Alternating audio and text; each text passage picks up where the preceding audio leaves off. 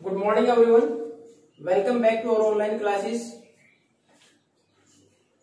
in the last class we have discussed about the control of Delhi sultan in nearby areas of Delhi from a garrison town to the hinterland और the countryside कि पहले जो केवल एक इस प्रकार से शहर, एक किलाबंदी कैंट जिसको आज के समय बोलते हैं सेना को रखा जाए, उससे बाहर निकल के और बराबर की ज़मीन के ऊपर शासन करना।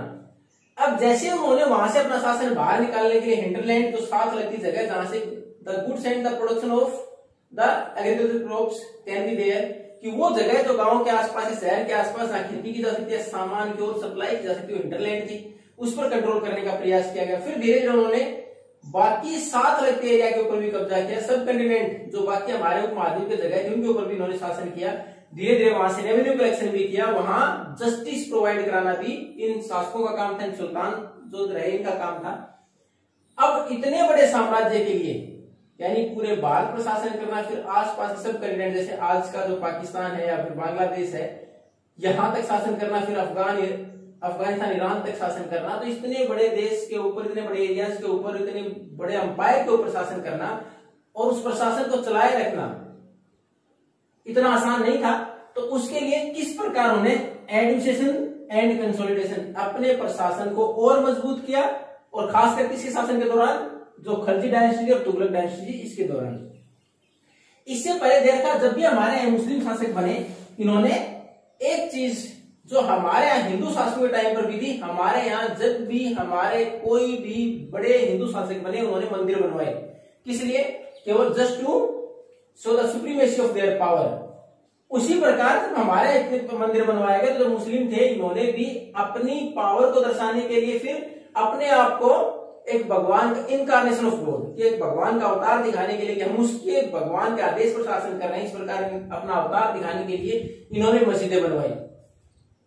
और मस्जिद क्या? Where the Muslim people prostrate in reverence of the God भगवान को सम्मान देने के लिए, उससे प्रार्थना करने के लिए, जिस जगह के ऊपर, पूजा स्थल के ऊपर सर झुका के नमाज़ अदा करते हैं। मुस्लिमों के लिए क्या है? वो मस्जिद। उसमें फिर एक एक ऐसा व्यक्ति, खासकर मेल, पुरुष हो महिलाएँ नहीं होती उसमें, जो पढ़ा लिखा हो, जिसको इस्लाम समझ तक का ज्ञान हो, उसको इमाम डिक्लेयर किया जाता उसके बाद वहाँ प्रेयर करते और इमाम फ्राइडे को, शुक्रवार के दिन, इसमें देखा टू रीड द खुतबा यानी सरमन उपदेश भी देते उन लोगों को, इस कम्युनिटी के लोगों को।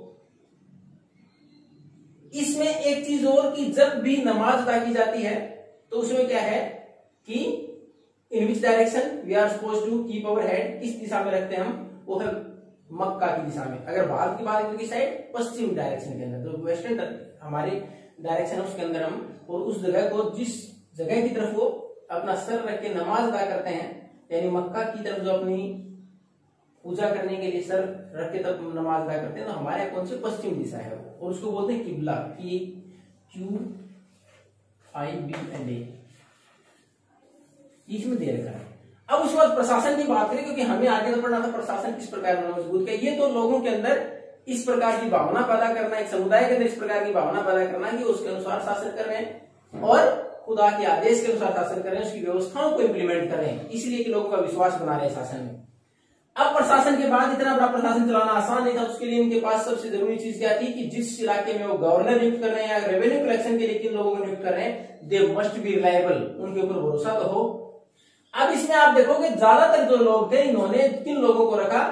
They preferred the slaves than their own son अपने लड़कों से भी ज़्यादा विश्वास उन्होंने जो उनके पास दास थे, देवर परचेज फ्रॉम समवेयर हालाँकि वो लोग सेवा के लिए, अपने पास सेवा के लिए बाहर से खरीदे गए थे। उसके बाद they were grown up in the very same empire उसी अंपायर में अपने पास रखे उनको बड़ा किया गया, उनको ट्रेनिंग दी गई। और ज़्यादातर ये लोग किसके लिए रखे गए थे? सेना के लिए। सेना में सेवाएँ देने के लिए लोगों को रखा गया था। और उनको धीरे धीरे प्रशिक्षण दिया गया कि अगर कोई महत्वपूर्ण पद दिया जाए तो शासन कैसे चला सकते हैं। तो प्रशासन को मज़बूत करने के लिए उनके पास विश्वसनीय लोग होने चाहिए, उनके जिनके ऊपर विश्वास रखा जा सके और ईमानदारी से काम करे, वफादार हो, लोयल हो। राजा के प्रति तो इन्होंने किनको प्रेफरेंस दी? इन्होंने अपने जो स्लेव थे, उनको प्रेफरेंस दी और उनको आगे बढ़ाया शासन में। प्रशासन, उनको गवर्नर बनाया गया अलग अलग जगह के ऊपर। अब उसके बाद इसी व्यवस्था को आगे कंटिन्यू रखा, जो ये व्यवस्था शुरू की गई थी। सुल्तानों के द्वारा, ये खलजी डायनेस्टी रही चाहे तुगलक रहे इन्होंने। और जो बंदी बनाए गए थे, यानी स्लेव थे, जो उनके पास, उनको बोलते थे बंदागन। जिनको स्लेव बना के रखा गया था, हालाँकि रखा सेना के लिए गया था, लेकिन धीरे धीरे उनको इस प्रकार आगे बढ़ाया गया। पूरी तरह किसी ऊपर डिपेंड थे। दे डिपेंड ऑन मास्टर अपने मालिक पर डिपेंड थे। तो इसलिए वफादार बने रहते थे वो। लेकिन इसमें परेशानियाँ कहा की अब खलजी और तुगलक के टाइम पर भी इनको बनाए रखा, लेकिन उस टाइम पर एक वर्ड इस्तेमाल किया क्लाइंट्स क्लाइंट किस लिए वर्ड आजकल तो हम किसी लिए क्लाइंट इस्तेमाल करते हैं। अगर हम कोई सामान बेचने वाले ग्राहक हमारे पास है लेकिन क्लाइंट उस वक्त किसी लिए वर्ड इस्तेमाल किया who word depend on others जो दूसरे पर डिपेंड यानी राजा के ऊपर डिपेंड होता, जो उसके सहायक के तौर पर पूरी तरह उसके ऊपर निर्भर रहता, उसी व्यक्ति को बनाते हैं एक तरह से दास। क्लाइंट भी who is depend on the king तो उसकी पेट्रोनेज के ऊपर ही डिपेंड हो। तो इन्होंने भी ये व्यवस्था जारी रखी जो सुल्तानों ने शुरुआत में शुरू की थी। खलजी और तुगलक डायनेस्टी के दौरान भी इसको कंटिन्यू रखा गया, लेकिन परेशानी कहा कि अगर कोई स्लेव किसी किंग के पास है किसी राजा के पास है मान लो मेरे पास है तो क्या करेगा? मेरा तो फादर है। लेकिन आफ्टर द एक्सेशन अगर मान लो पुराने राजा की किसी वजह से डेथ हो गई या उसको मार दिया गया, नए राजा ने शासन संभाला तो वफादार किसके प्रति था? तो पहले वाले के प्रति। आगे तो शासक आए, उसके प्रति वो लॉयल नहीं थे। इसे कंफ्लिक्ट होती। जो नए राजा अपने साथ, नए हमारे व्यवस्था के अंदर नए गवर्नर रखते हैं नए नोबल दरबार के अंदर जो कोर्ट में होते हैं, उनको नए जो दरबारी रखते हैं, उनमें आपस में विवाद होता है। कई बार ये इनस्टेबिलिटी ऑफ़ द गवर्नमेंट सरकार में अस्थिरता आती है क्योंकि आपस में विवाद बढ़ता है, परेशानियाँ बढ़ती राजा की तो शासन करना आसान नहीं रहता, क्योंकि जो भी स्लेव थे they were loyal of the empire और king who kept them as slave उनको स्लेव की तरफ़ रखा था कि उसी के फौदार होते थे। अब उसके बाद इस व्यवस्था को और आगे बढ़ा के फिर जो अलाउद्दीन खलजी और मोहम्मद तुगलक की बात नहीं जैसे पहले तो लो बैकग्राउंड से लोगों को रखा, क्योंकि उनके विश्वसनीय थे। इसमें एक एग्ज़ाम्पल देखो, मोहम्मद तुगलक का है। उन्होंने अपने यहाँ ऐसे ऐसे लोगों को बड़े पदों तक पहुँचा दिया जो कि वफादार थे। इनको लगा कि शासन में सहायता करेंगे। तो जैसे उनके पास कोई बारबर, नाई था, कुक, उसके बाद आपने उसके अंदर पढ़ा कि अगर कोई नाई का काम करता है, उसका खाना बनाने वाले का काम करता है गार्डनर माली थे, उनको उस लेवल तक प्रशासन के बड़े पदों तक पहुँचा दिया। अब उसके बाद इन्होंने आगे फिर गवर्नर किसको बनाया?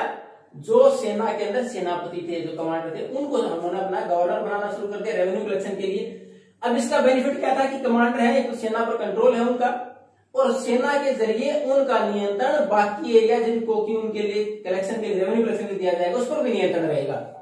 तो इन्होंने जो ज़मीन उन लोगों को दी, मान लो एक व्यक्ति को एक पार्टिकुलर एरिया दे दिया गया, किसी भी एक व्यक्ति को मान लक्ष्मणगढ़ का एरिया दिया गया कि आपको यहाँ से रेवेन्यू कलेक्ट करनी है, यहाँ गवर्नर नियुक्त कर दिया गया। अब उस वक्त इस एरिया को क्या बोला गया? इसको बोला गया इक्ता। यानी सल्तनत काल में एक particular area which was decided to collect revenue एक पार्टिकुलर एरिया जहाँ से कोई व्यक्ति एक व्यक्ति रेवेन्यू कलेक्ट करेगा, उसको बोला गया इक्ता। और जो व्यक्ति रेवेन्यू कलेक्ट करता है वो इक्तादार है। जिसको ज़मीन दी गई कलेक्ट करने के लिए इक्तादार या फिर उसको बोलते मुक्ति तो इसमें फिर जो रेवेन्यू कलेक्ट करता इकतदार या मुक्ति उसको जिम्मेवारी देगी सेना का, नियंत्रण तो रखेगा अपने पास सेना भी रखेगा, उसके साथ रेवेन्यू कलेक्शन का काम करेगा। उसी रेवेन्यू कलेक्शन में से वो अपनी सैलरी भी निकालेगा और जो अपने पास सैनिक रख रहा है, उनकी सैलरी भी उसी रेवेन्यू कलेक्शन में से निकालेगा। लेकिन इसके साथ साथ अलाउद्दीन खलजी और मोहम्मद तुगलक ने काम और क्या असेसमेंट किया उस जगह कि वहाँ से कितना टैक्स वसूला जा सकता है। अपने अकाउंटेंट रखे कि कितना टैक्स वसूला जा सकता है और कितना टैक्स वसूल रहे हैं। कहीं ऐसा तो नहीं है, ज़्यादा वसूल रहे हो। और फिर ये दे आर ट्रांसफरेबल ये जो इकता था ट्रांसफरेबल है नहीं आज अगर किसी एक बच्चे को दे रखा है किसी एक व्यक्ति को दे रखा है तो कल कोई किसी दूसरे व्यक्ति को दिया जा सकता है। क्यों? ताकि वो व्यक्ति परमानेंट तौर पर वहाँ अपने आप की मजबूती बना के शासन करना शुरू कर दे। इसलिए इसको बदलते रहते थे। यानी ट्रांसफ़र होता रहता था। यानी आज एक व्यक्ति के पास है, वो पार्टिकुलर जगह रेवेन्यू कलेक्ट करने के लिए तो दूसरी बार किसी दूसरे व्यक्ति को दे देते अगले साल के लिए। तो ट्रांसफरेबल होते थे। इन चीज़ों का ध्यान रखा जाता है। रेवेन्यू कलेक्शन जो राजा ने डिसाइड किया, उससे ज़्यादा नहीं ले। इसके अलावा कोई भी अलग से कोई टैक्स नहीं लगा दे। यानी राजा ने जो टैक्स डिसाइड किया, उसके अलावा कोई टैक्स नहीं लगाए। इसके लिए अकाउंटेंट रखे हुए थे मुख्य तौर पर, मुख्य तौर उस टाइम पर तीन प्रकार के टैक्स लिए जाते। पहला था लैंड रेवेन्यू जो ज़मीन पर प्रोडक्शन का टैक्स लिया जाता है यानी जो फ़सल उगाई जाती है उसका टैक्स लिया जाता, इसको बोलते खराज। और वो कितना होता? फिफ्टी परसेंट यानी अगर आपके पास सौ के जी अनाज हुआ तो पचास के जी रेवेन्यू के तौर पर चला जाएगा टैक्स में चला जाएगा। यानी fifty percent land revenue land production पर था। दूसरा कैटल्स जो जानवर थे, उसके ऊपर टैक्स लगता, कि आपको इस इतने जानवर तो हर जानवर के अनुसार पर काउंट पर हेड काउंट की काउंट कर तो उसके अनुसार टैक्स देना पड़ता है फिर हाउसेस ग्रे कर।